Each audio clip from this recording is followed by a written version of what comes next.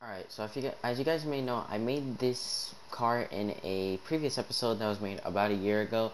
Um, I'll put a link in the description to that video, but um, um, I actually created the Fast Four Porsche driven by Gisele, and uh, I didn't really make it look like it, so this time I'm just gonna do what it was needed. So it was not needed any of these, so let's just take all this off because none of this was necessary. Um, I just did it because it looked much better. The car looked much better overall.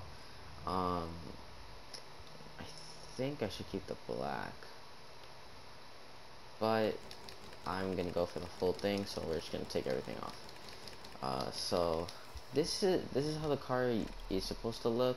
Um, if you guys want to know the whole customization um, so basically you put on Werkmeister S1s, you put some chrome on the secondary, you put some black gloss on the primary color, and then for, you can only do license plate, and then it's pretty much it because this car is not any customizable customizable because they got rims, windows, uh, license plate, and then sound system, which I don't really do in this game, which changes the music, I believe.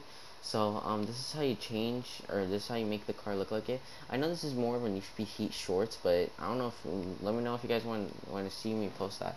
Um, this is gonna be put on the Need for Speed uh, Heat shorts, um, like kind of like view, I guess you would say. It wouldn't it wouldn't be like a five minute video. So um, yeah, overall that's how you make Gisele's uh, Porsche if you're actually trying to make it look like it.